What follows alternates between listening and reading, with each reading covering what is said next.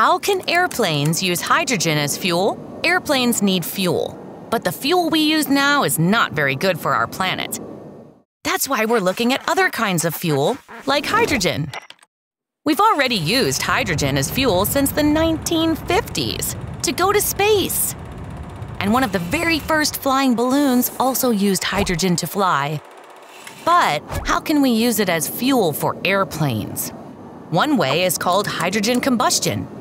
This works just like a regular engine in a car or an airplane, only we use hydrogen instead of gasoline.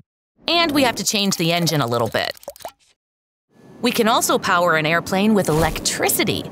For this, we need to use a battery, just like in a toy plane. A very big one. But a normal battery would lose its power after a short time. That's why we want to use a special hydrogen battery. This is called a hydrogen fuel cell. It works like a normal battery, only it has a lot more power. And you don't have to charge it. As long as there's hydrogen, it will keep on going. Where would you go in a hydrogen airplane?